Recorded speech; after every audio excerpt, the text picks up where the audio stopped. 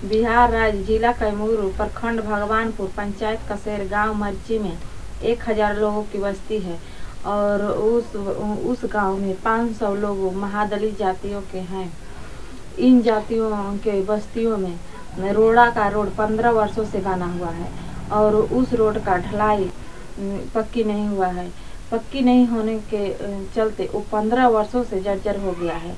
पंद्रह वर्षों से जर्जर हो जाने से वहाँ का एक हज़ार लोगों को बहुत कठिनाइयाँ परेशानियाँ झेलना पड़ रहा है।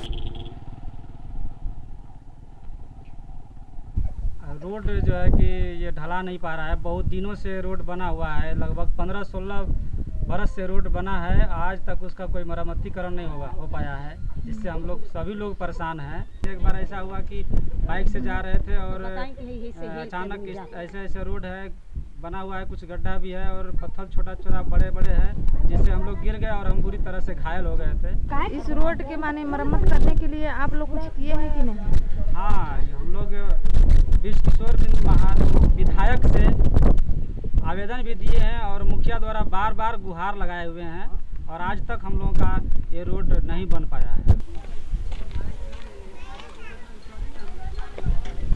मैंने इस वीडियो को इसलिए बनाई कि मेरे भी गाँव में ये समस्या है। मैं जानती हूँ कि पक्की सड़क नहीं रहने से कैसी परेशानियाँ झेलना पड़ता है। मैं और मेरा समुदाय चाहता है कि ये रोड पक्की बन जाए, ताकि कहीं जाने आने में हम लोगों को सुविधा हो सके। इस वीडियो को जो भाई बहन देख रहे हैं, उन सभी लोगों से मेरा अपील है कि प्रखंड विकास पदाधिकारी का मोबाइल नंबर चौरानवे इकतीस इक्यासी चौरासी पचहत्तर पर कॉल करें।